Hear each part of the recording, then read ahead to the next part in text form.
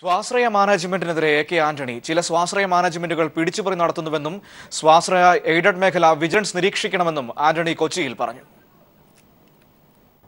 ഇന്ത്യയിലെ കോടാനുകൂടി ജനങ്ങൾക്ക് കൃഷിക്കാർക്കും തൊഴിലാളികൾക്കും കച്ചവടക്കാർക്കും വ്യാപാരികൾക്കും